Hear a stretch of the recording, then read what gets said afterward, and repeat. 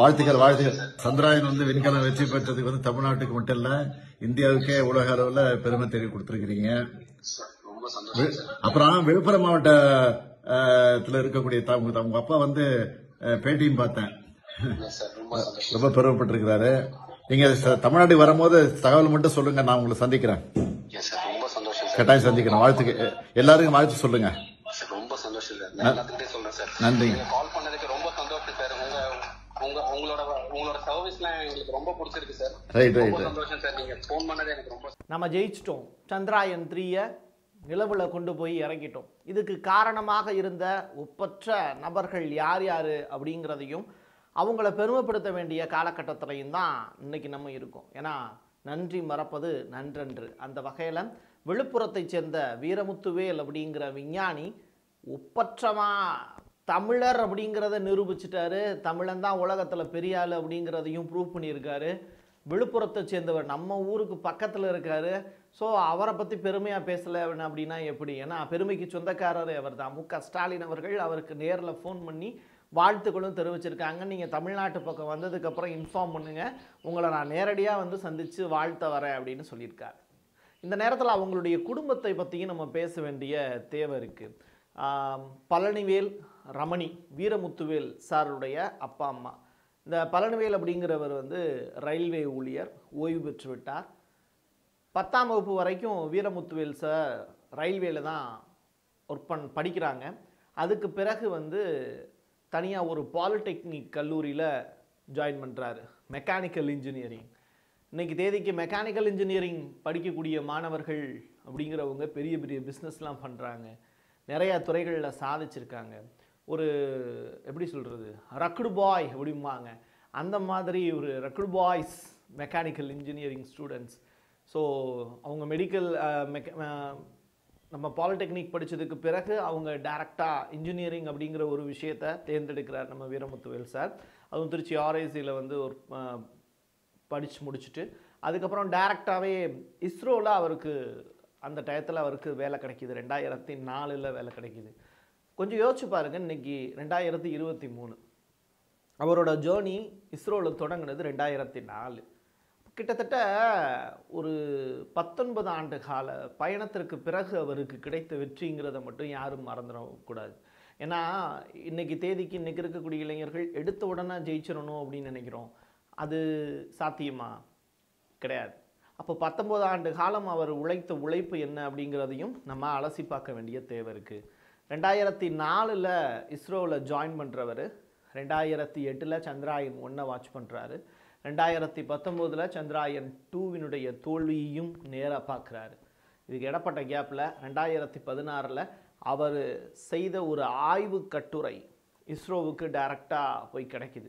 அந்த ஆராய்ச்சி கட்டுரை தான் இஸ்ரோவால் அங்கீகரிக்கப்பட்டு நிலவில் நம்மளால் காலடி எடுத்து வைக்க முடியும் அப்படிங்கிறத வீரமுத்துவேல் சாருடைய ஆராய்ச்சி கட்டுரை மூலியமாக தான் அடுத்த ஸ்டெப்புக்கு நகட்டுறாங்க அப்போது சந்திராயன் த்ரீக்கு நீங்கள் திட்ட இயக்குனராக இருங்க அப்படின்னு அவங்களுக்கு ஒரு பெரிய பொறுப்பை தூக்கி கொடுக்குறாங்க. இந்த பொறுப்பை சிறப்பாக செய்து முடித்த வீரமுத்துவேல் சார் தொடர்ந்து ஒரு ரயில்வே ஊழியருடைய மகனாக இருந்து தமிழ்நாட்டில் இருந்து நிலவில் போய் நம்ம கால் தடம் பதிக்கிறதுக்கு காரணமாக இருந்திருக்காரு அப்படின்னு நினைக்கும் போது ரொம்ப பெருமையாக இருக்குது இன்றைக்கி தேதிக்கு அவங்க அப்பா நேரடியாக போய் சே செய்தி தொலைக்காட்சியிலேருந்து பேட்டி எடுக்கும்போது ஆனந்த கண்ணீர் வடிக்கிறார். சரி இதெல்லாம் ஒரு பக்கம். இந்த வீரமுத்துவேல் சார் மட்டும்தான் இதில் நாயகரா? வேற யாரும் வந்து இதில் ஒர்க் பண்ணலையா? ஆயிரம் விஞ்ஞானிகள் இருக்காங்களே. அவங்களையும் நம்ம நினைவுபடுத்தணும்ல. அவங்களையும் பெரு அதையும் நம்ம தெரிஞ்சுக்கணும்ல. வீரமுத்துவேல் சாரை இன்றைக்கி எல்லாருமே பார்த்துட்டோம் படிச்சிட்டோம். மூணு தமிழர்கள் வந்து மூணு ஈவெண்ட்லேயுமே முக்கியமாக இருந்திருக்காங்க. சந்திராயன் ஒன்று சந்திராயன் டூ சந்திராயன் த்ரீ சந்திராயன் ஒன்றில் உங்களுக்கு தெரியும். நம்ம அப்துல் கலாம் ஐயா சந்திராயன் டூவில் வந்து வனிதா மேடம் சந்திராயன் த்ரீயில் வந்து வீரமுத்துவேல் சார் ஸோ இப்படி வந்து நம்முடைய தமிழர்கள் அதில் கால் பதிச்சிருக்காங்க. இதில் இஸ்ரோவினுடைய சாதனை நாயகர்கள்னு பார்க்கும்போது ஃபர்ஸ்ட் ஒன் சோம்நாத் சார் அவர் தான் இஸ்ரோவினுடைய தலைவர். அவர் சொல்லும்போது ஒரு ஸ்டேட்மெண்ட் சொல்லியிருக்கார். இவர் வெற்றியை வாங்கிட்டோம். டக்குன்னு வந்து அதை பிரதமர்கிட்ட கொடுத்து நீங்கள் பேசுங்க சார் அப்படின்னு சொல்லிட்டு போயிட்டார். சார் நாங்கள் லான்ச் பண்ணிட்டோம் அப்படின்னு சொல்லிட்டு அதை சிம்பிளாக வந்து ஒரு ஒரு இஸ்ரோவினுடைய தலைவர் ரொம்ப சிம்பிளாக வந்து ஒரு விஷயத்தை ஸ்டேட்மெண்ட்டை பதிவு செஞ்சுட்டு போயிருந்தார். இவர் ஏற்கனவே வந்து எங்கெங்கெல்லாம் ஒர்க் பண்ணியிருக்காரு சோம்நாத் சார் அப்படிங்கிறவர் விண்கல எங்கன்னா சந்திராயன் த்ரீ விண்கலத்தை சுமந்து சென்ற பாகுபலி அப்படின்னு இருக்கக்கூடிய மார்க் த்ரீ ராக்கெட்டை வடிவமைச்சரே நம்ம சோம்நாத் சார் தான். ஸோ நம்ம மேலே போய் இறங்குறத பார்க்குறோம். அதுக்கு உந்து சக்தியாக இருந்த ராக்கெட் அப்படிங்கிற ஒரு விஷயம். ஸோ அதற்கு வந்து சோம்நாத் சார் தான் அதை வடிவமைச்சிருக்காரு. ஒவ்வொருத்தவங்களும் ஒவ்வொரு இடத்துல வந்து பெரிய ஆளாக இருந்திருக்காங்க. இவர் ஏற்கனவே கர்நாடகாவில் பெங்களூரில் இருக்கக்கூடிய ஐஐஎஸ்சி அப்படிங்கிற இந்திய அறிவியல் கல்வி நிறுவனத்தில் விண்வெளிக்கான பொறியியல் பட்டம் பெற்றவர். சோம்நாத் சாரை பற்றி நம்ம நிறையா பேருக்கு தெரியாமல் இருக்கும். அதுக்காக தான் இந்த பதிவு. ஏன்னா அந்த ராக்கெட் அப்படிங்கிறது ரொம்ப முக்கியமானது. அந்த பாகுபலி அப்படின்னு சொல்லப்படக்கூடிய மார்க் த்ரீ ராக்கெட்டை வடிவமைச்சவரே நம்ம இஸ்ரோவினுடைய தலைவர் சோம்நாத் சார் தான் அதற்கு பிறகு இன்னொருத்தர் நபர் வந்து உன்னிகிருஷ்ணன். இவர் வந்து இயக்குனர். விக்ரம் சாராபாய் விண்வெளி நிலையத்தினுடைய இயக்குனர். இவரும் இதில் வந்து முக்கியமான அங்கம் வகிக்கிறார். இவர் மனிதனை விண்வெளிக்கு அனுப்பக்கூடிய ககன்கான் திட்டத்தில் முக்கிய பங்காற்றுறார். இது என்ன ஆகுனா நெக்ஸ்ட் ஸ்டேஜ் நம்ம பாரத பிரதமர் மோடி வந்து ஒரு ஸ்டேட்மெண்ட்டை செஞ்சுருக்காரு. அடுத்து வந்து ஆதித்யா எல்வன் சூரியனை ஆய்வு பண்ண போது ககன்யான் விண்கலம் மனிதனை விண்ணுக்கு அனுப்ப போகுது. அந்த ககன்யான் திட்டத்தில் பல கோடி ரூபாய் இன்வெஸ்ட்மெண்ட் பண்ணியிருக்காங்க. பெங்களூரில் வந்து நாலு விஞ்ஞானிகள் வந்து இதற்காக பயிற்சி பெற்றுக்கிட்டு இருக்காங்க. ஒரு பெண் ரோபோவை ஃபஸ்ட்டு அனுப்ப போகிறாங்க இந்த திட்டத்துல எல்லாம் இவர் தான் முக்கியமான ஒரு ஆளாக இருக்க போகிறார் உன்னி கிருஷ்ணன் அப்படின்னு. இன்றைக்கி நம்ம பேசக்கூடிய இந்த உன்னிகிருஷ்ணன் அப்படிங்கிற நபர் நாளைக்கு சரித்திரத்தில் இடம்பெறக்கூடிய நபராக இருப்பார். இப்போவே அந்த ஆயிரம் விஞ்ஞானிகள் லிஸ்ட்டில் சோம்நாத்துக்கு அடுத்தபடியாக இந்த உன்னிகிருஷ்ணன் சாரை தான் சொல்கிறாங்க அடுத்து நம்ம வீரமுத்துவேல் சார் உங்களுக்கே தெரியும். அவர் வந்து எங்கே ஒர்க் பண்ணுறாரு என்னது அவருக்காக தான் இந்த எபிசோட்டை எடுக்கிறோம். மூணாவது நாலாவது வந்து கல்பனா. தொ- கொரோனா தொற்று காலத்தில் கூட சந்திராயன் த்ரீ குழுவினரை ஒருங்கிணைச்சு செயல்பட்டவர். ஜூம் மீட்டிங் கூகுள் மீட்டிங் உள்ளிட்ட ஏகப்பட்ட விஷயங்கள் எல்லாத்தையுமே ஆர்கனைஸ் பண்ணவங்க இவங்க தான் ஒரு சில பேர் தோ துவண்டு போயிடுவாங்க. அவங்களெல்லாம் தட்டி கொடுக்குறவங்க யாருன்னு கேட்டால் இந்த கல்பனா அப்படிங்கிற மேடம் தான். இவங்க சந்திராயனுடைய துணை திட்ட இயக்குனர். செயற்கைக்கோள்களை தயாரிக்கிறதுல தன்னோட வாழ்க்கையவே டோட்டலாக வந்து இன்ஜினியரிங்காகவே அர்ப்பணிச்சவங்க தான் இந்த கல்பனா. சந்திராயன் டூ மற்றும் மங்கள்யான் திட்டங்களில் முக்கிய பங்காற்றியிருக்காங்க இவங்களையும் பெருமைப்படுத்தியிருக்கு இஸ்ரோ. அவங்களுக்கு பேசுகிறதுக்கான வாய்ப்பையும் அந்த நேரம் கொடுத்துருந்தாங்க. அதுக்கு பிறகு வனிதா மேம் வனிதா மேம் பொறுத்தளவில் சந்திராயன் டூவில் ஏற்கனவே ஒர்க் பண்ணியிருந்தாங்க. ஆனால் அவங்கள சந்திராயன் டூவில் ஒர்க் பண்ணி அது ஃபெயிலியர் அப்படின்னு இருந்த உடனே அதை அவங்கள அந்த இடத்துல இருந்து கழட்டி விட்டாங்க. பட் அவங்களும் அந்த இடத்துல பெருமைக்குரிய ஒரு நபராக துணை இயக்குனராக செயல்படக்கூடிய ஒரு நபர் தான் இவங்க வந்து நிலவை நோக்கிய பயணத்தில் நாட்டினுடைய வழிநடத்திய முதல் பெண்மணி இவங்க தான் இப்போ சந்திராயன் ஒன்று வந்து அப்துல் கலாம் சார் வழி நடத்தினார். சந்திராயன் டூவை வந்து வழி நடத்துகிறவங்க இவங்க வனிதா மேடம் தான்.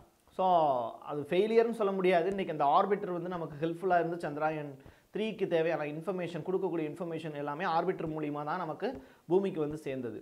ஸோ அந்த ஆர்பிட்டர் இன்ன வரைக்கும் இங்கே சுற்றிக்கிட்டு இருக்கு. இன்னும் பதினாலு வருஷம் அதோட வேலிடிட்டி இருக்குது அப்படின்னா அது காரணம் வனிதா மேம் தான். ஸோ அதையும் நம்ம பெருமையாக சொல்ல வேண்டியது இருக்குது அடுத்து எம் சங்கரன் அப்படிங்கிற யூஆர் ராவ் செயற்கைக்கோள் மையத்தினுடைய பெங்களூரில் இருக்கக்கூடிய மையம் அதனுடைய இயக்குனர் அவர். அவரும் இந்த சந்திராயன் த்ரீக்கு பெரிய அளவில் ஒர்க் அவுட் பண்ணியிருக்கார். அவரை பற்றி சொல்லணும் அப்படின்னா மங்கள்யான் சந்திரயான் த்ரீ திட்டங்களில் பங்கெடுத்திருக்காரு. நிலவு வந்து போதுமான அளவு வெப்பம் குளிர்ச்சியோடு இருக்கிறத இவர் தான் உறுதி பண்ணியிருக்கார். அதாவது எந்த டெம்பரேச்சரில் அது இருக்குது எந்த இப்போ minus two hundred and forty degree celsius அப்படின்னு இன்றைக்கி நிலவினுடைய குளிருடைய தன்மை இவ்வளவு தான் இருக்கும் அப்படிங்கிறத நம்ம எல்லாரும் சொல்லிக்கிட்டு இருக்கோம்ல. அதனுடைய தட்பவெட்ப சூழ்நிலை இப்படி தான் இருக்குது அப்படின்னு. அதை கண்டுபிடிச்சி சொன்னவரே இந்த எம். சங்கரன் அப்படிங்கிற சார் தான். லேண்டரோட வலிமையை சோதிக்கிறதுக்கு நிலவின் மேற்பரப்பு பிரதிநிதி பிரதியை உண்டாக்கியவர் இவர் தான். அதாவது இந்த லேண்டரில் நாலு கால் அப்படிங்கிறது ரொம்ப முக்கியமானது. அதனுடைய வெயிட் எவ்வளவுக்கு இருக்கணும்? அதனுடைய மேற்பரப்பில் இருக்கக்கூடிய அந்த சூரிய தகடுகள் பற்றி இன்றைக்கி எல்லாரும் பேசிக்கிட்டு இருக்கோம். ஸோ அந்த சூரிய தகடுகள் என்ன மாதிரியான ஸ்ட்ரக்சரில் இருக்கணும்? உள்ளுக்குள்ளே இருக்க ஒயிட் கலர் ஷீட் வந்து எப்படி இருக்கணும்? அப்படிங்கிறத அந்த டெக்னாலஜி எல்லாத்தையுமே ரெடி பண்ணவர் எம் சங்கரன் அப்படிங்கிற அந்த மதிப்பு மிக்க நபர் தான். அதற்கு பிறகு வி. நாராயணன் இயக்குனர் திரவ உந்து சக்தி அமைப்புகள் திருவா திருவான்றத்தில் இருக்குது. அந்த அமைப்பினுடைய முக்கியமான ஒரு ஆள். இவர் வந்து பார்த்திங்கன்னா மேற்கு வங்கத்தினுடைய கரக்பூரில் இருக்கக்கூடிய ஐஐடியில் படித்தவர் கிரையோஜெனிக் இன் எஞ்சிரங் எந்திரங்கள் இருக்குல்ல அதை தயாரிக்கிறதுல நிபுணத்துவம் பெற்றவர் அப்படிங்கிறாங்க. மட்டுமல்லாமல் விக்ரம் லேண்டரை வெற்றிகரமாக தரையிறங்க செய்த திரவ உந்து சக்தி இயந்திரங்கள் இவரது தலைமையின் கீழ் தான் தயாரிக்கப்பட்டது. இந்த திரவ உந்து சக்தி இயங்க அதாவது ப்ரொபல்ஷன் மாடல் இருக்கு இல்லையா? இந்த உந்து சக்தி எப்படி சொல்கிறது நாலு குட்டி ராக்கெட்டு இந்த ப்ரொபல்ஷன் மாடலுங்கிறது அது உந்தி தள்ளும் அது வந்து ஏன்னா விக்ரம் லேண்டரை வந்து தனியாக பிரிஞ்சிருச்சு அது ஒரு கேஸு அதுக்கும் இவர் வந்து ஒன் ஆஃப் த பார்ட்டில் இருந்திருக்காரு. அதுக்கப்புறம் வந்து இந்த உந்து சக்தி அப்படிங்கிற ஒரு விஷயத்தில் இவர் ஸ்பெஷலிஸ்ட்டு எப்படின்னா இப்போ நாலு குட்டி ராக்கெட் இருக்குது அப்படின்னா அந்த நாலு குட்டி ராக்கெட் வந்து அந்த எரிபொருளை எரித்து தான் என்ன பண்ணும்? மேலேருந்து கீழே வரும். எதிர்வினை ஆற்றி அதோட ஸ்பீட் லெவலை கண்ட்ரோல் பண்ணும். ஸோ அதுக்கு வந்து பார்த்திங்கன்னா இந்த சாலிடிலிருந்து மென்மையான திரவ பொருட்கள் அப்படிங்கிறது ஒரு விஷயம் முக்கியமான ஒரு விஷயமா சயின்டிஃபிக் அறிவியல் ஆய்வாளர்கள் சொல்லுவாங்க. அந்த வகையில் அந்த திரவ உந்து சக்தி அமைப்புகளை சரியாக கையாளக்கூடிய திறன் வாய்ந்தவர் தான் இந்த நாராயணன் அப்படிங்கிறவர். அதுக்கப்புறம் பிஎன் ராமகிருஷ்ணா இவரும் இயக்குனர். இது வந்து இஸ்ட்ராக் அப்படின்னு பெங்களூரில். இப்படி எல்லா அமைப்புகளும் ஒன்றா சேர்ந்து தான் வந்து சந்திராயன் த்ரீயை மேலே ஒரு ஆள் தனிப்பட்ட ஒருத்தருடைய முயற்சின்னு சொல்ல முடியாது. தலைவராக சோம்நாத் இருக்காரு. ஆனால் அவருக்கு கீழே முக்கியமாக வந்து ஒரு எட்டு முக்கியமான நபர்கள் இருக்காங்க. இந்த எட்டாவது நபர் தான் பி என் ராமகிருஷ்ணா. இவர் பூமியில் இருக்கக்கூடிய கட்டுப்பாட்டு அறையில் இருந்தே விக்ரம் லேண்டருக்கு பிறப்பித்த உறப்பு இன்ஸ்ட் இன்ஸ்ட்ராக் அப்படிங்கிற அந்த கண்காணிப்பு கட்டளை மையத்தினுடைய இயக்குனராக இருக்கார். கடைசி இருபது நிமிட திகளை இவரது குழுவினர் தான் தீவிரமாக கண்காணிச்சாங்க. இந்த ராமகிருஷ்ணா சாரோட கடைசி பொறுப்பே இவர்கிட்ட தான் கொடுத்துருந்தாங்க. லாஸ்ட் டுவெண்ட்டி மினிட்ஸ் வந்து உங்களோட பார்ட் அப்படின்னு. இது ரொம்ப ஒரு முக்கியமானது இல்லையா? ஸோ நைன்டீன் மினிட்ஸ் அந்த செவன்டீன் மினிட்ஸில் எந்த இடத்துல லேண்ட் ஆகணும்னு ஏஐட்ட கமாண்ட் கொடுக்குறது? ஏஐயோட பொறுப்பு அது தானியங்க செயல்படும் அப்படின்னாலும் அந்த டுவெண்ட்டி மினிட்ஸ் வந்து உங்களோட பொறுப்புங்கும் போது அதுதான் இம்பார்ட்டண்டான இடம். ஸோ அதை வந்து சிறம்பட கையாண்டவர் இந்த பி என் ராமகிருஷ்ணா அப்படிங்கிற சார் ஸோ இப்படி வந்து இந்தியாவினுடைய பெருமையை உலகத்திற்கு நிரூபித்தவங்க இந்த எட்டு பேர். அவங்கள பற்றின ஒரு நிகழ்வை வந்து நம்ம சொல்கிறதுக்கான வாய்ப்பு கிடச்சிருக்கு. இது எல்லாத்தையும் தாண்டி யார் யாரெல்லாம் வாழ்த்து தெரிவிச்சிருக்கா அப்படிங்கிறதையும் சொல்லணும். முக்கியமாக இந்தியாவினுடைய குடியரசுத் தலைவர் திரௌபதி முர்மு அவர்கள் வாழ்த்து தெரிவிச்சிருக்காங்க. அவங்களுடைய வாழ்த்து செய்தியில் வாழ்நாளில் ஒரு முறை நடக்கக்கூடிய நிகழ்வு நம்ம நாட்டை பெருமைப்படுத்தியிருக்குங்கிற வார்த்தையை பதிவு பண்ணியிருக்காங்க. இஸ்ரோ விஞ்ஞானிகளுக்கு வாழ்த்துக்கள்ங்கிறதையும் பதிவு பண்ணியிருக்காங்க. நம்முடைய சந்திரசூட் நீதியின் காவலர் உச்சநீதிமன்ற தலைமை நீதிபதி. அவர் இந்த வார்த்தையை பதிவு பண்ணியிருக்காரு. இஸ்ரோ இரவு பகல் பாராமல் உழைச்ச இஸ்ரோ விஞ்ஞானிகளுக்கு வாழ்த்துக்கள் அப்படின்னு. துணை ஜனாதிபதி ஜெகதீப் தன்கரும் ஒரு வாழ்த்துக்கள் சொல்லியிருக்காரு. அமித்ஷா வாழ்த்துக்கள் சொல்லியிருக்காரு. தேவையில்லாத ஒரு வாழ்த்து ஒருத்தரோட சொ ஒருத்தரோட வாழ்த்து. அது ஆளுநர் ஆர் என் ரவி அவருடைய வாழ்த்துக்களை யாரும் பெருசாக எடுத்துக்க போகிறதில்ல அதனால் அதை மட்டும் விட்டுருவோம். அதுக்கப்புறம் வந்து மல்லிகார்ஜுன கார்கே காங்கிரஸினுடைய தலைவர் அவர் வாழ்த்துக்கள் சொல்லியிருக்காரு. இப்படி நரேந்திர மோடியோட வாழ்த்து சொன்ன விஷயங்கள் தான் நீங்கள் நேரடியாகவே நிகழ்வில் பார்த்துருந்தீங்க. அவர் அடுத்து வந்து ககன்யான் திட்டத்தையும் சூரிய புயலை ஆய்வு செய்வதற்காக ஆதித்யா எல்வன் திட்டத்தையும் செயல்படுத்த போகிறோங்கிற விஷயத்தை பதிவு செஞ்சுருக்கார். எல்லாத்துக்கும் மேலே அடுத்து இந்தியாவினுடைய பிரதமர் வேட்பாளராகவும் பிரதமராகவும் மாறுவதற்கு தகுதியுடைய நபராக இருக்கக்கூடிய ராகுல் காந்தி அவர்களும் வாழ்த்துக்கள் சொல்லியிருக்காங்க. நம்ம தமிழ்நாட்டினுடைய முதலமைச்சர் மு க ஸ்டாலின் அவர்கள் நேரடியாக வீரமுத்துவேல் சாருக்கு ஃபோன் பண்ணி பேசியிருக்காங்க. நிகழ்ச்சியான பதிவு தான் அப்படிங்கிற விஷயத்தை பதிவு செஞ்சுருக்காங்க. வீரமுத்துவேல் சாருடைய அப்பா விழுப்புரமே கொண்டாட்டத்தில் இருக்குது அது மட்டும் இல்லாமல் மண்ணு கொடுத்த நாமக்கல் இஸ்ரோ வந்து அமெரிக்காட்ட இருந்து ஒரு கிலோ மண்ணை 15000 கொடுத்து வாங்கணும். அந்த சாம்பிள் மண் நிலவில் என்ன மாதிரியான மண் இருக்கும் அப்படிங்கிறத ஆராய்ச்சி பண்ணுறதுக்காக ஆந்த்ரோசைட் அப்படின்னு சொல்லிட்டு. அந்த மண்ணை வந்து 15000 கொடுத்து வாங்க வேண்டிய சூழ்நிலை இருந்துச்சு. அதை தவிர்த்துட்டு நாமக்கல்லில் இருக்கக்கூடிய அந்த குன்னமலைங்கிற ஏரியாவில் போய் அந்த மக்கள்கிட்ட அனுமதி கேட்டு அவங்கள்ட்ட இருந்து ஐம்பது டன்னு அங்கேயே பக்கத்தில் இருக்கக்கூடிய அந்த பாறைகள் எல்லாத்தையும் உருக்கி அதுக்கப்புறம் வந்து தேவையான மண் அந்த கடி தடிமனான மண்ணை வந்து எடுத்து அதில் வந்து இந்த உருவாக்கின ரோவரை வந்து விட்டு பார்த்துருக்காங்க ஓடுதா என்ன அப்படின்னு. இன்னைக்கு விக்ரம் லேண்டர் தரையிறங்கி ஆறு மணி நேரத்திற்கு பிறகு ரோவர் தரையிறங்கியிருக்கு. ஒட்டுமொத்த இந்தியாவும் மகிழ்ச்சி கடலில். திளைத்து போயிருக்கிறது. அடுத்து பதினான்கு நாட்கள் நடக்கக்கூடிய நிகழ்வுகளை தினந்தோறும் உங்களுக்கு வழங்குறதுக்கு பிரசாத் சிக்னேச்சரும் தயாராக இருக்குது ஏன்னா என் கையெழுத்து என் மக்களுக்கானது. மீண்டும் ஒரு பதிவில் சந்திக்கிறேன். நன்றி வணக்கம்.